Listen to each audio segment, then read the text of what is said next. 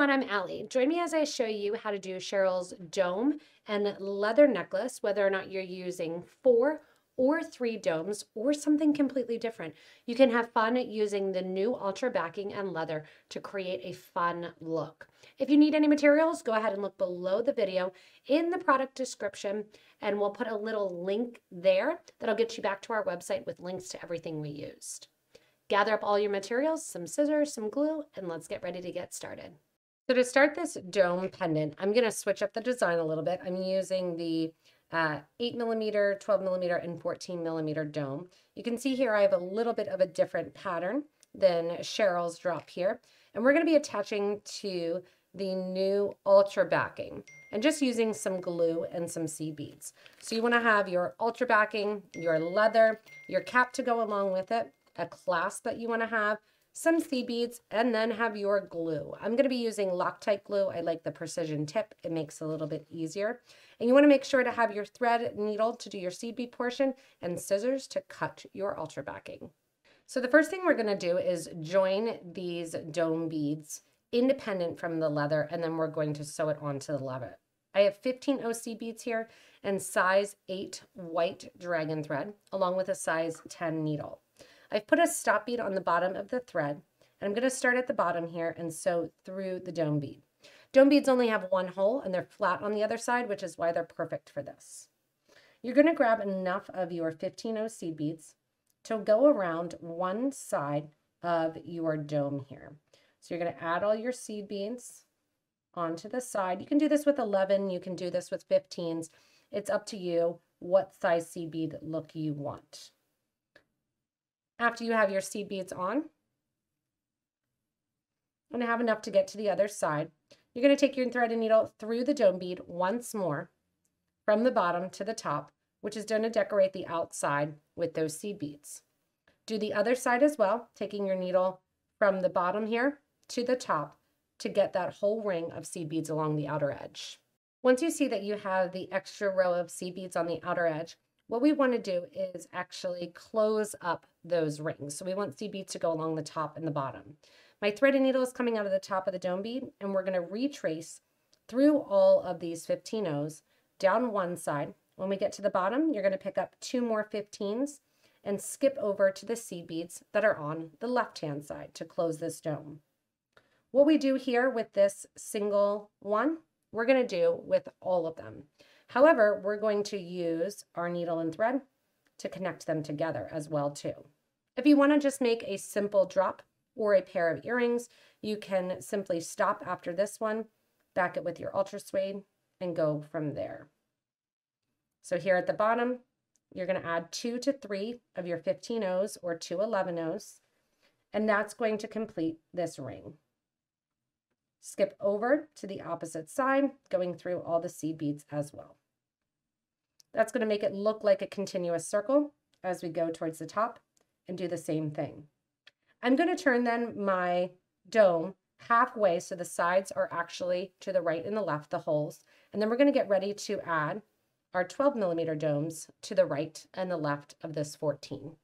Once you have the center here all done and wrapped around, you're going to exit somewhere on the design. Honestly, because we're gluing it down, it doesn't really matter where. The next thing we're going to do is grab the second cap. We'll wrap that one, then we'll grab the third, wrap that one, and then we will wrap the fourth to the top.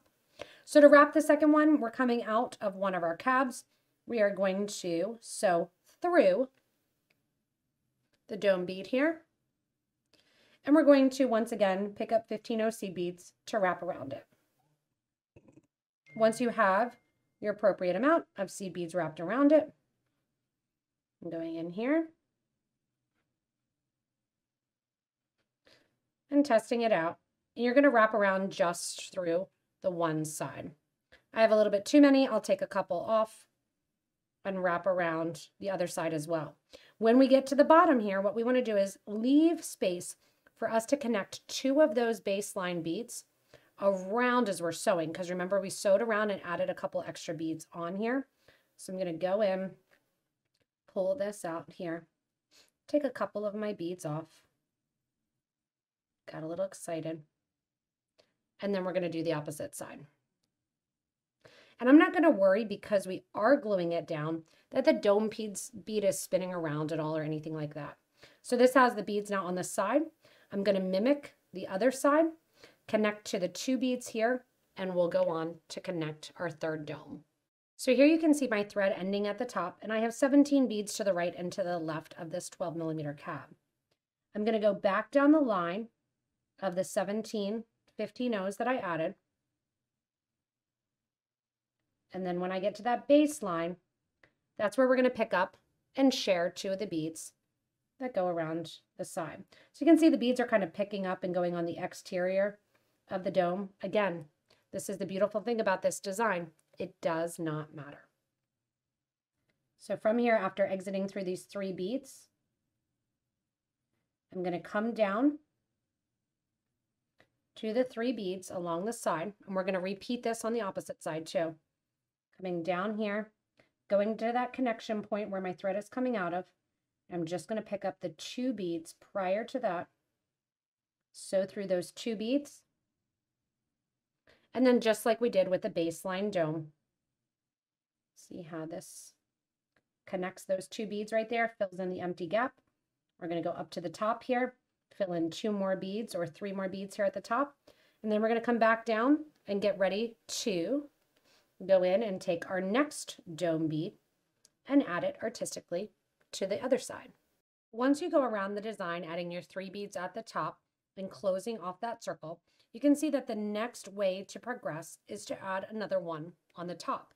We're going to get a little bit more creative and funky, and we're going to add another one to the side here before we add that one to the top.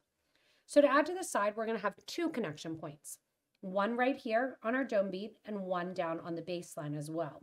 So coming out towards the bottom half of the dome bead, I'm once again going to go through and take my dome bead here and we're just going to sew right through the dome bead and start again wrapping around.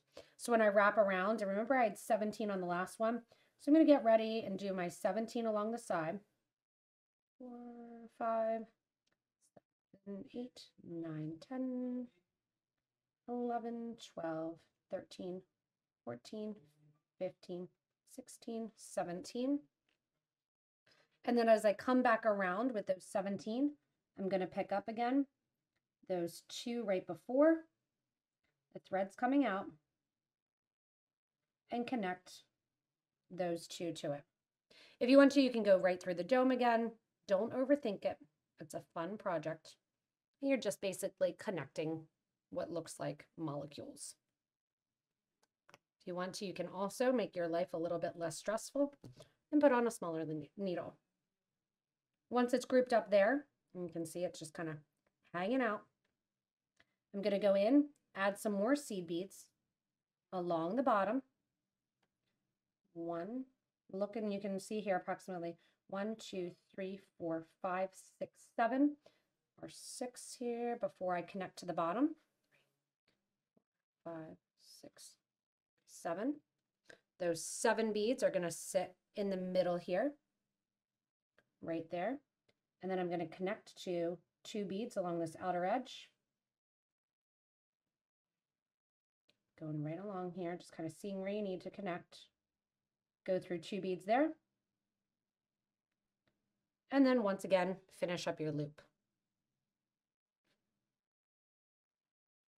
Sitting it down here, I would recommend kind of sitting down, flipping your domes around, pulling your thread, pulling that dome in towards the center, and then going in and just going ahead, counting out your seed beads and connecting to that outer edge. The last thing we're going to do is sew around to get to the top here and connect our dome bead again in two sections that way as we do the little one. From here, after connecting all of our seed beads, we're going to get ready to grab our ultra backing, sew it down, and finish out that section as well too. So once you have your seed beads, you can see, oh, couple too many. Take those guys off, sew around here, and we're going to get back up to the top. Once you get your seed beads all the way around your cabs, we are going to knot off the thread and then kind of tuck it down get rid of this stop bead, and we are getting out our ultra back. So our ultra back is going to be used to glue down our surface to. We're going to take this here. You can see it just makes those colors so rich too. Just flipping that over, pushing that down. And we're also going to use the ultra suede and this ultra backing to create our little bail. So we are going to glue this down. We're going to take our scissors and cut really close. You can trace if you want to and cut it out ahead of time.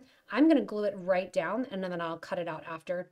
You can really get creative if you want to and seed be the ends. We're keeping it really, really simple. Again, don't stress out about this. So I'm going to get my ultra suede back here. I'm going to cut it along the line and I'm just using regular scissors here, cutting it right along this line, just getting it a little bit closer for the design. And now I'm going to go in, again, kind of tucking that thread to the back, go in and I'm going to glue it toward the bottom of the strip here. Turning those domes down, gluing it right in by the bottom of the strip, making the seed bead kind of sit below it so that way you don't see a ton of it coming from the front. Again, tuck those strands down below and just let it dry for a little bit glued right on there. I'm gluing it with the Loctite and I'm going to glue down my domes and that's how it's going to hold in place. After you finish gluing your ultra suede to the back and this ultra backing, you're going to make your bail. So you can see I've left like a little tag basically up at the top. And it's going to depend on what you want to put through the bail, depending on how long you want it to be. I'm going to have mine be interchangeable. So I just cut a straight line. You can get a lot more exact if you want with some great uh, scrapbooking scissors. And we're basically just going to tuck this down as a little flap along the back, and then you will put your strands through it. So I'm going to go right down here to the middle of that baseline, do a little bit more of my Loctite glue, dab there, pinch down and push down along the back. I'm going to let that dry and then all I'm going to do is grab some of my leather, my end cones. I'm going with black to go along with the black and the jet down here. And my lobster clasp and finish off the necklace just by gluing the ends into a cap and a comb. This one here in Sheryl's example, she did three strands. I think I'll probably stick to three strands or maybe even four going in to this little pendant with that four strand design. Once you're done with your pendant, whether or not you're doing four strands or three strands, it just is a really cool organic look that you can change up doing a bunch of different designs, giving you the idea of kind of faux seed bead embroidery. You can even embroider it if you do want to, and just have fun getting creative with the domes, some other flat back beads, putting them on some leather and really having fun making some unique pieces. Thanks so much for joining me, and thank you to Sheryl for having fun and giving us this fun introduction of working with some of this ultra backing as well as our dome beads to create a faux bead embroidery piece.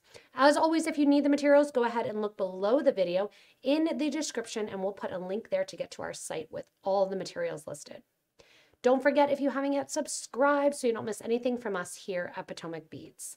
Thanks so much for joining in. Have fun creating whether or not you do the three, the two, the one, and really go to town creating these fun and funky dome and leather necklaces.